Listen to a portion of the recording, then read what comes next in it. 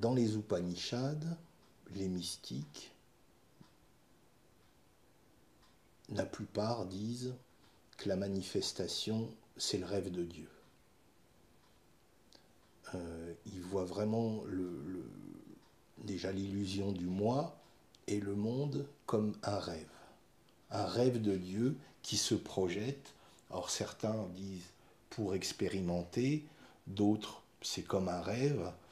Euh, la plupart posent ça, disent cela. Euh, l'individu, à un moment, on comprend qu'il s'identifie et c'est ce qui fait qu'il se croit dans le rêve. Moi, je le perçois et je l'entends comme ça. Euh, qu'est-ce que fait le moi au milieu de tout ça? Qu'est-ce que le sens du moi dans son quotidien Sachant que il est dans un rêve, qu'il il se rêve même lui-même,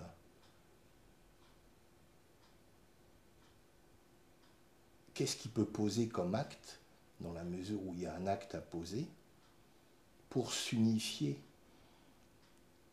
à la conscience globale?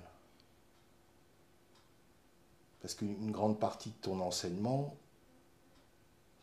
moi je l'entends comme ça, c'est sortir aussi de l'illusion du, du, moi agissant, euh, s'identifier au moi. Euh, qu'est-ce Qu'est-ce que... il y a beaucoup de choses. il y a beaucoup de choses. Euh, il y a oui, parce que plusieurs choses. Questions il y en a plein là, donc on va attacher, on, va, y aller euh, petit à petit. On va séparer le. Je vais commencer là déjà par, par la fin. J'aime bien en fait commencer par la fin, l'illusion. tu peux me reformuler ça, ta question par rapport à l'illusion, parce que eh ben, de, quelle illusion? de, textes et de mystiques témoignent leur réalisation de la manière suivante le monde est un rêve. Quand tu parles d'écran et de films projetés sur l'écran, ils vont dire le film est un rêve. Oui, mais pourtant le film est une illusion. N'est pas une illusion. Dès lors qu'il y a perception d'un film, la perception est réelle pour celui qui perçoit le film. Est-ce que tu es d'accord avec ça? Oui. La perception, comme au cinéma, tu me parles de l'écran, du film projeté. Dès lors qu'il y a conscience d'un film, le film devient réel.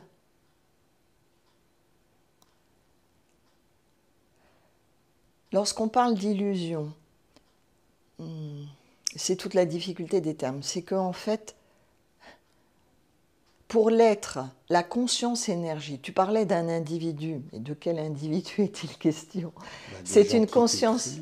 Des gens qui t'écrivent, qui se sentent euh, eux-mêmes des individus séparés. Voilà, c'est pour cela que la base, la base, la base est silence. méditation silence. Mais pas comme une pratique, c'est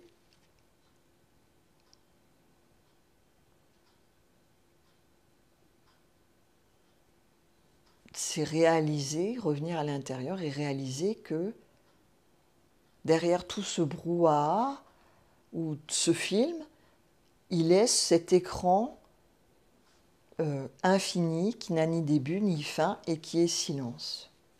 Et cela est, est seul. Il n'est que cela.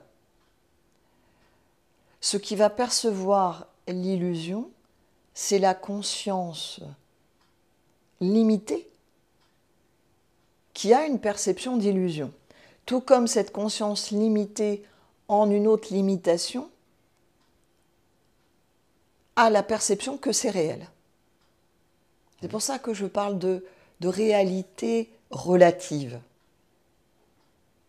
Parce que la réalité absolue est silence méditation, c'est l'écran infini. Le reste, le film, a une réalité, On ne peut pas dire que c'est une illusion. Là, tout à l'heure, tu sautes de la montagne. tu vas pas me dire que c'est une illusion. Quand tu as une crise de foi, que ce soit une crise de foi de, de ne plus croire en rien, d'être perdu, ou une crise de foi physique, d'avoir mangé trop de chocolat, ce qui expérimente ne peut pas dire que c'est une illusion. C'est relativement réel pour ceux qui l'expérimentent. C'est une affaire de, point de vue, de, de, de, conscience. de. D'attachement. Hum. D'attachement aux limites, à la forme. Et l'invitation est de réaliser que en, en ce film, qui est projeté, qui va attirer la conscience, qui va peut-être même être totalement identifié, par exemple, à un, personnage dans un film, qui va pleurer pour le personnage ou qui va se réjouir.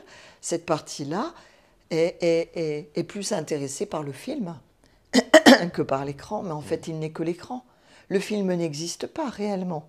D'un autre point de vue, tu ne peux pas rentrer dans le film. Le film est une illusion de ce point de vue-là. Il a une, réalité relative, et pourtant, pour la conscience identifiée, ça va lui paraître réel. Pour la conscience identifiée, c'est réel. Alors qu'est-ce qu'il fait? Donc c'est pour cela que l'individu identifié ne peut rien faire, puisque pour lui c'est réel. Alors il ne peut rien faire À part découvrir la non-existence réelle de ce jeu. C'est pour cela que l'investigation, l'exploration intérieure est la seule euh, possibilité pour cette conscience énergie qui, simplement dans le silence,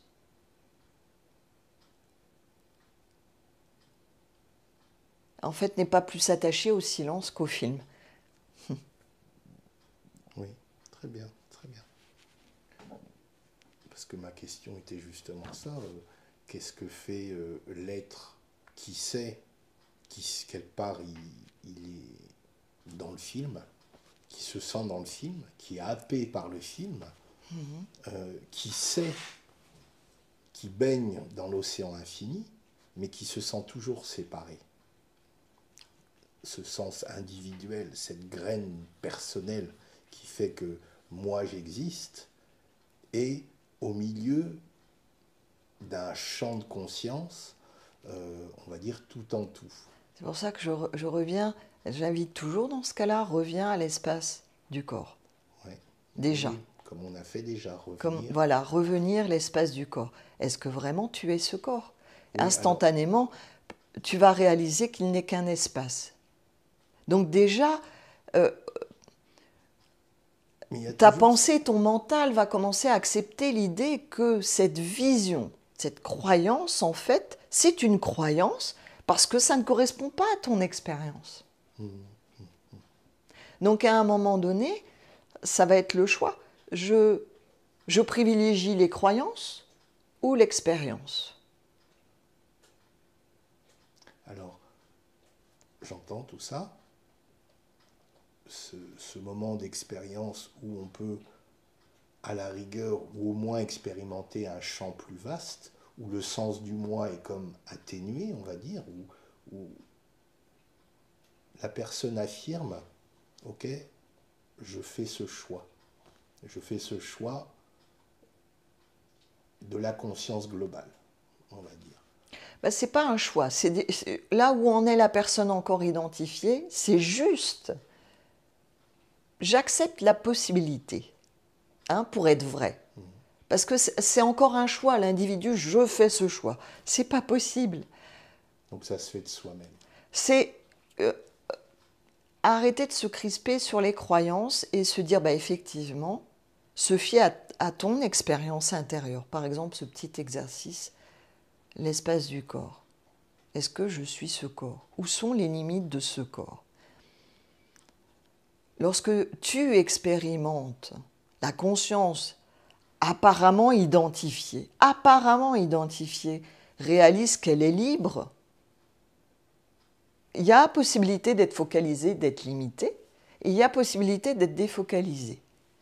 et que la conscience énergie, un individu qui se croit encore séparé, expérimente cela et dit OK, je m'ouvre à la possibilité que mon expérience est plus probante que ma croyance. Et qu'en fait, les deux ne sont pas incompatibles. Sauf que c'est plus une croyance, c'est vraiment une expérience. J'expérimente, par exemple, j'ai très très mal dans le corps. J'expérimente cela. Quand on a très mal, c'est pour ça que dans le, le Mukti Yoga, on se sert beaucoup des sensations, de ce qui est vécu réellement, expérimenté par chacun. Et, les grandes douleurs peuvent être une aide parce qu'on peut expérimenter simultanément une grande douleur dans le corps, fermer les yeux, s'ouvrir, ne plus se crisper sur la douleur, s'ouvrir à l'espace et réaliser que, ah, la conscience énergie, qui je suis, a cette possibilité d'être totalement limitée par une douleur physique, par le corps physique, par une émotion, par une pensée, mais aussi simultanément Enfin, pas simultanément, pas en même temps. Mais faire ce choix de défocaliser. Et dans cette défocalisation, il est possible d'avoir la conscience de la douleur du corps, mais qui est vue complètement autrement. De la même manière que tu peux voir le film, mais en sachant que tu n'es pas le personnage dans le film.